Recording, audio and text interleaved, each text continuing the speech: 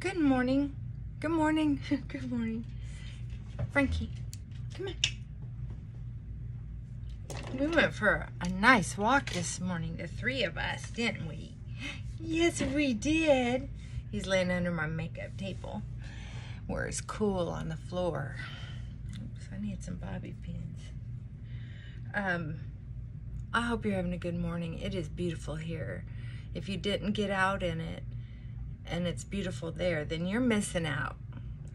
There's not a lot of days where it's not too humid and it's warm enough. It's not raining. It's not overcast. Oh my gosh. Went for a walk. Flowers are, are getting a different bloom now than they did previously. There's just different layers of things growing. And so we just had a big bloom start to die down. And so a lot of the green is starting to get thicker. Also the birds are really out. After all those rains and storms they are so happy. They are singing like in a movie. They are singing on every mailbox and post. There is i have a neighbor down the road that has a little rock garden patch a small one and then in the middle there's a tall rock and i always thought it I liked it before they redid it. It used to be a lot more rocks and a bird bath and this and that, but they really simplified. When we get older, sometimes we just don't want to deal with all that. And I get it. So anyway, there was a bird perched right on top of it. Looked like a, a sparrow, but it sang like a chickadee, and I was remembering a chickadee nest that I had had and um, then it started singing like a mockingbird and start and I just thought I just stood there with the dogs and I just in that moment breathing it in knowing I need to get a move on but I just wanted to stand there longer and listen and then the bird flew away. It was like okay girl let's go it was it was kind of funny but I would have loved to have listened to it longer that's all I'm saying. I washed my face this morning. Forgot to put moisturizer on it. But I don't think I need much because I think I'm gonna skip it because it is kind of humid. When it starts getting humid, I don't I don't need layers and layers of stuff.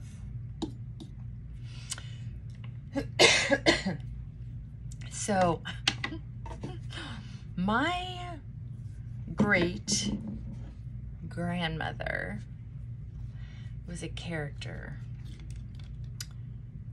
She was born in 1989. Nine, no, I'm sorry, 1889. Duh. and um, she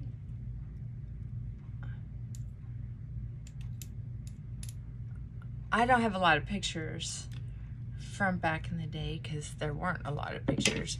But um, I take it because all the women in my family are fairly attractive. She was young, pretty, spunky, and um,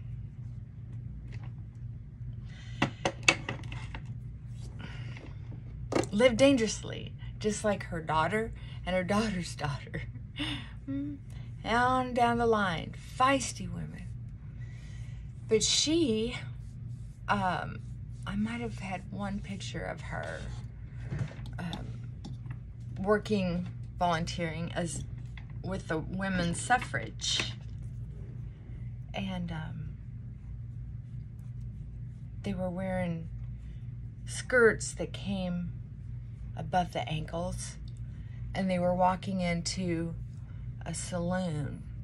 They wanted to start being able to go where they wanted to go and um, they wanted to start showing their ankles, start wearing different fashions. Didn't want to wear six layers of clothes even in the summertime. That's why it was such a big deal in the late teens and early 20s that women were changing. They were tired of suffering. They didn't have a vote. Most couldn't even own property unless every T and every I was dotted. Because usually someone could find a loophole in it and they'd have to give it up to a male. Wasn't fair, but that's how it was.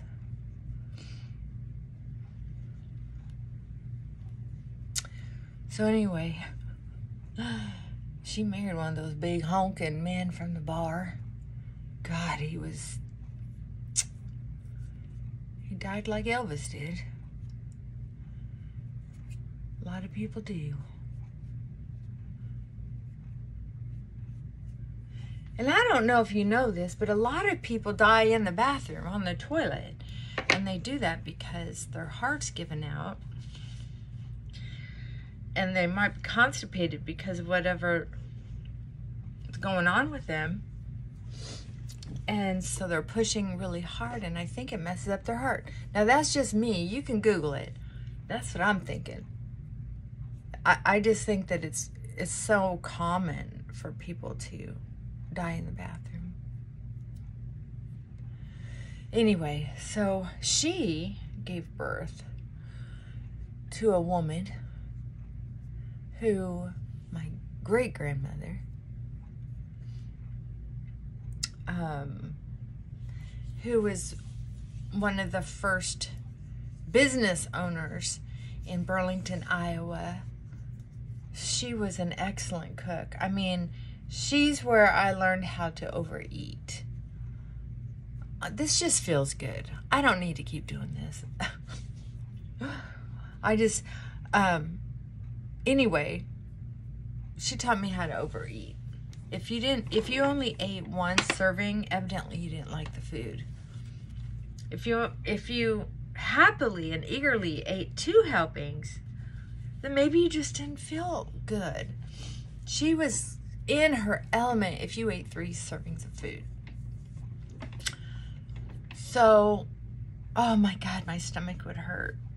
Yeah, we've had some we've had some brave, courageous, dangerous women in my family, but we've also had compulsivity um, and obsessive need to control and to feel fed. Each woman in her own right was very independent, very active outside the home, um, lived on the edge. So each younger generation then would be kind of scared Tell you the truth, I guess. Like, what's going to happen next?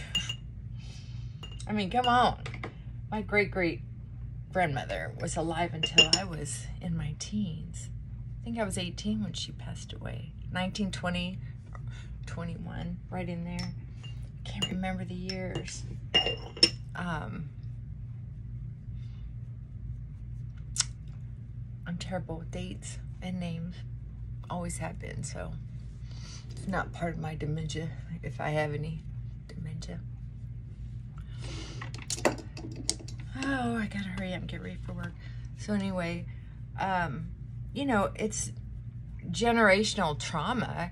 You know, when you have a mom like my great great grandmother who was living on that kind of edge, you knew that she could be killed by some jerk guy because it was legal, basically, to kill women back then. All you had to do was make up a story that you were dating and she cheated on you. You didn't have to prove you were dating. well, unless you had, unless she was really loved and people were really keeping track, but people who were rebellious like grandma, mm, I don't know. I'm gonna have to do something with my bangs, I guess. I don't know. So, I think this is getting empty. It was a little dry yesterday. We'll see how it does today. so then that child has attachment style issues, meaning they're afraid to love. They want love, and then they want to protect themselves. or they want you to keep proving they love you. Or you want to keep proving you love them. I mean it, it's the brain's a funny thing. And then you're raising kids and you're kind of treating them in a certain way. So it's generational. So it was my great great grandma then my great grandma who was independent business owner worked basically 24 7 i mean even in old age um, she only slept four or five hours a night. Then she had a daughter who was part of the whole um, independence thing too. She was one of the first women to have an airplane pilot's license. I know, right? She had She was such a rebellious person. She was selling bootleg liquor and cigarettes. I don't know if she ever got arrested or not, but I did hear tell a story one time where she had an her someone told her you got to quit being so basically obnoxious because you're driving around in a she thought it was a cool car, I guess. What was it? A Model T? something like that. And it had seven different colors on the car. So it was identifiable by far, by far away. what a dork. That's how rebellious and cocky. I mean, just think how cocky you have to be to pull some of this stuff off and not get caught. You had to be brave. Um, well, I wouldn't call it brave. I use bravery for things that are good, not bad. um, she was cocky. And uh, she was also a piano player. She could play beautifully. Not concert beautiful, but beautiful. Um,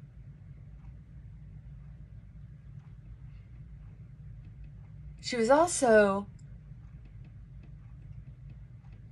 one of the most beautiful women I'd ever seen. My grandmother. She had uh, dark hair.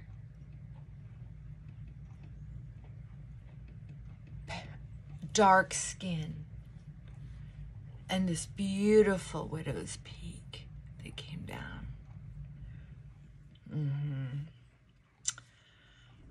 Her skin was so olive.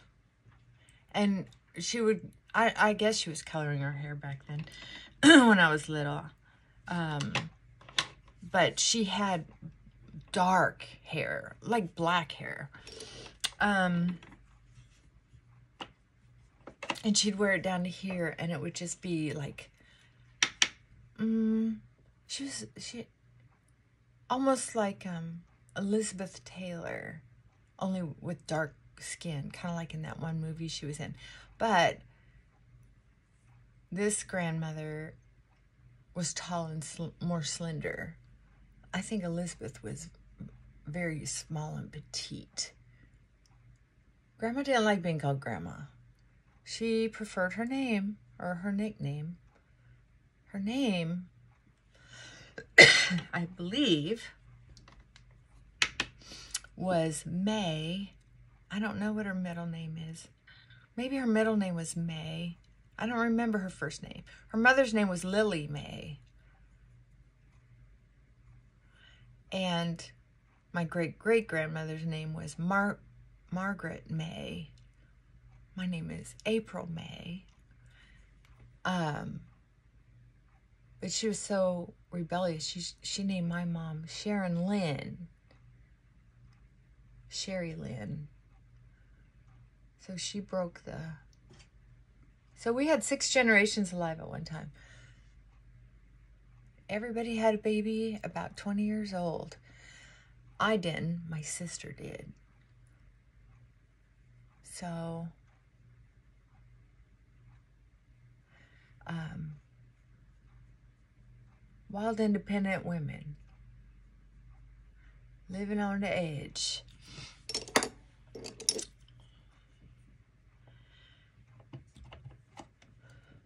Then my mother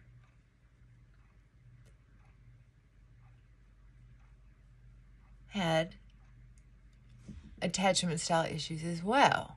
Now, understand it takes a unique person to go out and do things that normally a man would do, not a woman.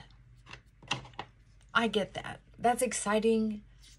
That's amazing. It's exhilarating.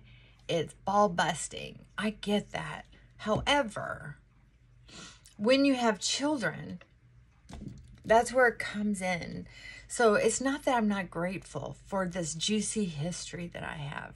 I am. And I've kind of been a a ball buster too in certain ways.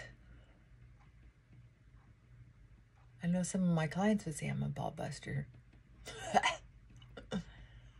oh. But when you have kids at home, that's not what they're getting usually. They're not getting that they're proud of you, they're impressed by you, they're inspired by you, they want to grow up to be just like you. They may be saying those things. But what they're thinking is, where's mommy? Where's daddy? I have never seen a client more than three times to clear up an issue that didn't have abandonment issues from their parents. Everybody else that I've seen, we can clear up what's wrong with them in one to three sessions. That's the truth. Because shit makes sense to them. Sorry. Excuse me. I didn't mean to say that. I mean, I know I cuss, but I didn't mean to say that one. Uh,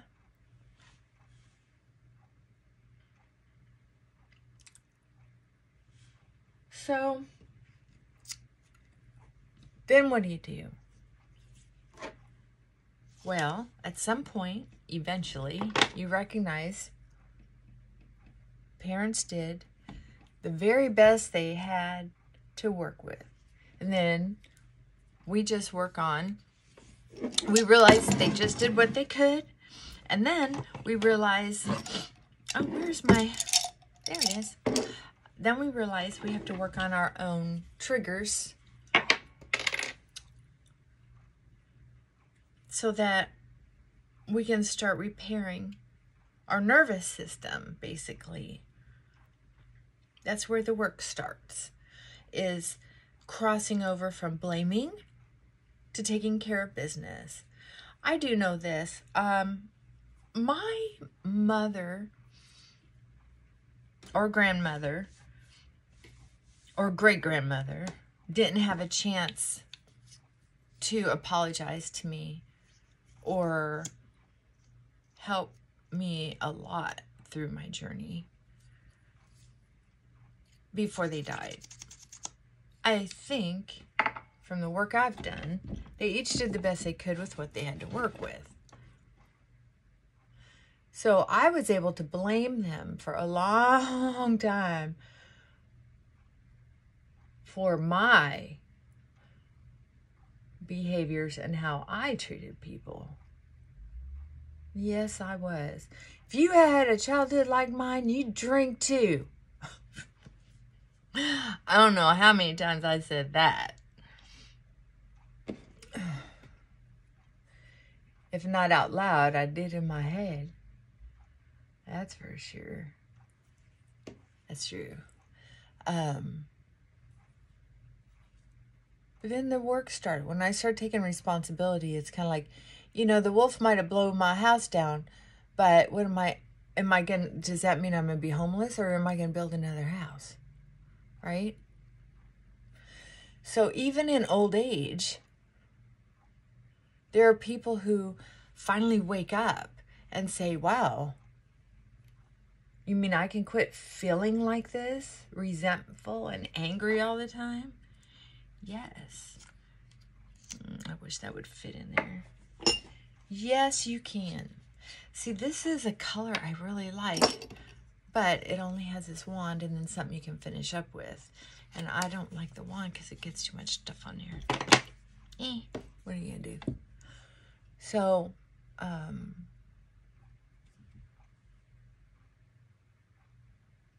that could be your homework today. What are you going to do about things you can't do anything about? Look at all those eyebrows. How do I grow so many eyebrows? I have always been a hairy, hairy person. But when I put uh, when I put mascara on my eyebrows, every little extra hair shows up. Mm, shoot, I gotta go. I gotta get to work. well, I can't be perfect. But some days I feel more perfect than others. You know what I mean? Some days it just all comes together. so much nicer. So much easier. I know one day I felt that way. It Turns out I forgot to put eye, uh, eyebrow eyebrows on.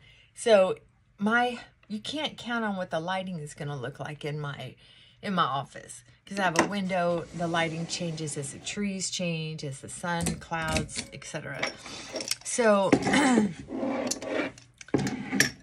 so I'm sitting there talking with a, a, client, and I'm feeling completely put together. I finally take a, just a second to look over in this little square of what I look like, and I thought, gosh, doesn't look like I have any. Doesn't look like I have any eyebrows. I've done it. I've done it with eyeliner, mascara, brows, lips, blush. But usually it's just one thing I've forgotten. When I don't wear blush, I look like this white mask. I don't know. I'm not a professional lighter person, but I kind of like to do that. But what I've, what I've been told is if I do that, I have to close the window because that natural lighting comes in in different prisms so it changes the whole the whole thing so eh who cares they don't really care it, not a lot as long as i don't look totally scary all right i love y'all I hope something about this made sense, but what I do know is I love seeing your comments or just say hi. Mwah. Bye for now.